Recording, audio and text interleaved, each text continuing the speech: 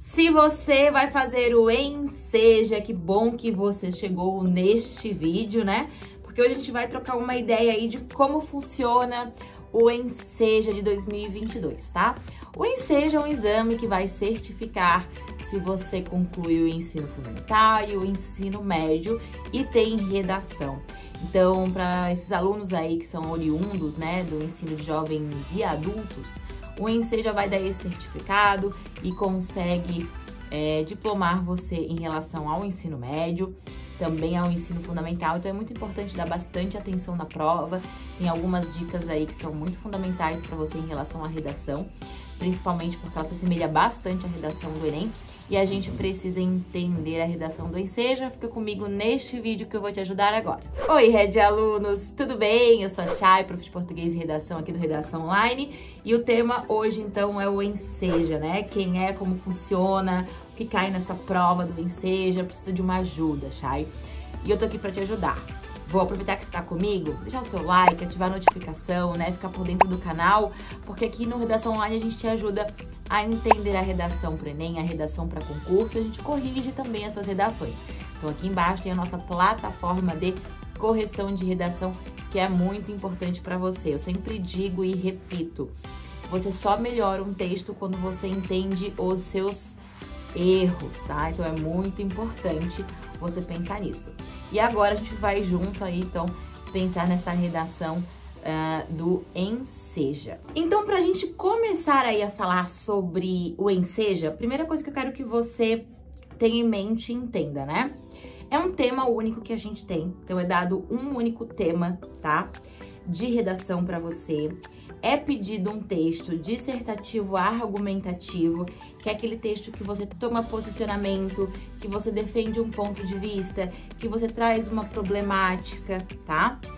Fica ali entre as 30 linhas, né? Aqui diz que é de 25 a 30 linhas e que no edital também do Enseja não vai causar a obrigatoriedade de título, tá? Muita gente tem dúvida, coloca o título no ensejo ou não, e não, a gente não tem uma obrigatoriedade para colocar título no ensejo, tá? Que é muito importante você entender.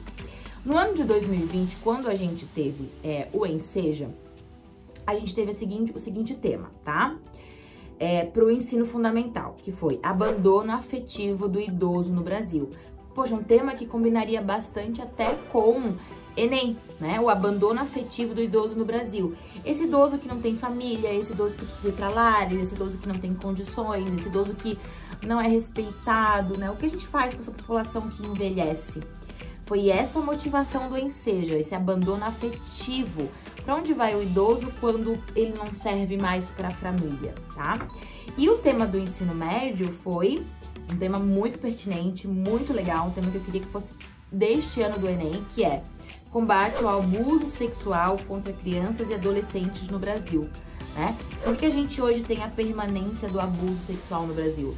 Penas que não são tão duras assim, problemas familiares, desatenção do Estado, desatenção da família, uma lenta mudança de mentalidade, uma culpabilização da vítima. A gente tem vários motivos para colocar como o causador aí dos problemas, dessa permanência do abuso é, por parte. Uh, para contra, né? Não por parte, contra a criança e o jovem hoje no Brasil. Então, esses dois temas aí for, são bem relevantes, foram bem legais, caíram no ano passado.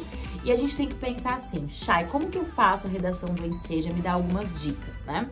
Para começar, se a gente vai até 30 linhas, eu quero que você anote agora aí que você tem quatro parágrafos, tá?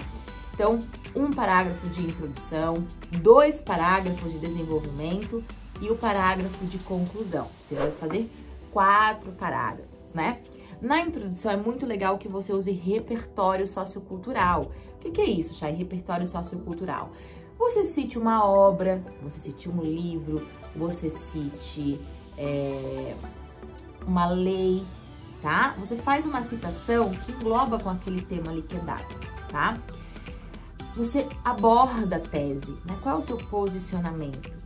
É o problema existente, né? Pensa assim, você vai ter um problema lá na redação é, do Enseja, assim como é no Enem. Né? Então você tem que abordar, tem um problema tal é a minha tese. E achar sempre dois causadores ou duas consequências. Quando eu olho aqui, ó, o abandono afetivo do idoso no Brasil, abandono afetivo. O que causa o abandono afetivo do idoso? Primeira questão, vamos lá, vamos chutar assim. Uh, então, o abandono afetivo do idoso hoje no Brasil é causado, né? Primeiro, pela estrutura familiar. Um idoso que ele não, uh, ao longo da sua vida, talvez ele não tenha uma família, ou ele não construiu uma família, hoje a gente tem redução das famílias, né? As pessoas têm poucos filhos, isso acaba uh, gerando lá na frente, né? Um quem vai cuidar de mim.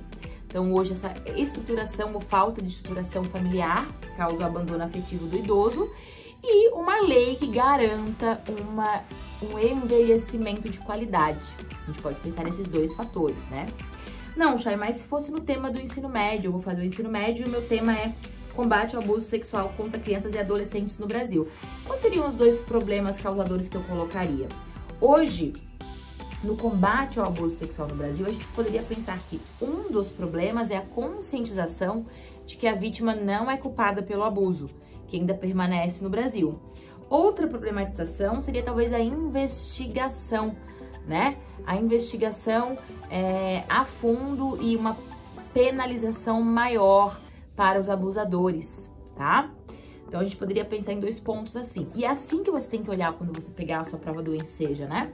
O que, que eu preciso olhar? Quais são os causadores desse problema, Chay? É, além dos causadores, o que mais que eu sei sobre esse problema? Eu sei uma lei, eu lembro de uma série.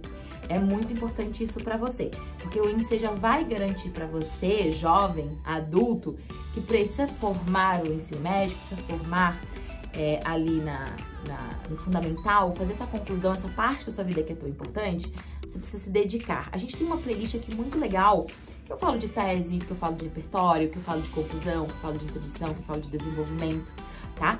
Então eu, é, seria bem legal vocês assistirem também para irem além. Então não esqueçam, né? São quatro parágrafos, deem atenção, olhem os problemas, olhem a problemática e uh, tentem fazer uma boa estrutura de texto antes de começar a estudar o texto, né? Planeje que eu quero escrever na introdução, o que eu quero escrever no desenvolvimento, o que eu quero escrever na conclusão. É a sua chance deste ano, vai estar tá super legal, vai estar tá super fácil. Eu conto com vocês para assistir todos os nossos vídeos aqui, depois comenta para mim, já assistiu o seu vídeo sobre desenvolvimento, sobre conclusão e foi muito legal para mim no Enseja, tá? E tem dúvida? Deixa aqui nos comentários que a gente vai ajudar vocês e vai responder, assim como você também consome muito conteúdo nosso nas redes sociais do Redação Online, tá bom? Um beijo, uma excelente prova do Enseja para vocês. Tchau, tchau, até a nossa próxima aula.